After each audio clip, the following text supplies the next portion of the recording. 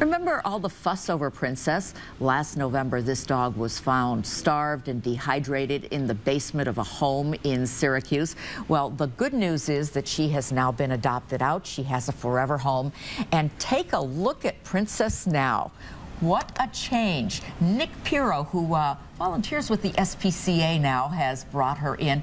She is just gorgeous, Nick. She's, she's doing great. Yeah. She's doing great. Yeah, and- clearly. Look at the confidence in her, and she's gained a lot of weight. Yep, 30 pounds. Yep.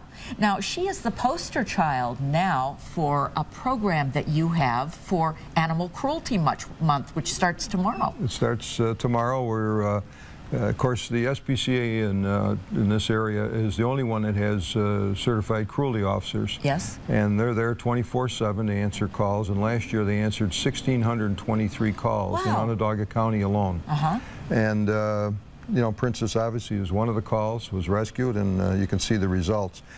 Uh, the program we're doing is called Captains Against Cruelty, and what we're asking people to do is go to the uh, SPCA website, uh, cnyspca.org, Uh-huh. and uh, sign up to be a captain. And over the month of April, to go out and collect some money to support the Cruelty Officer Program. Okay. Uh, I'm saying collect a dollar a day for 30 days, and uh, if you can do more, we'd appreciate it. But uh, Okay.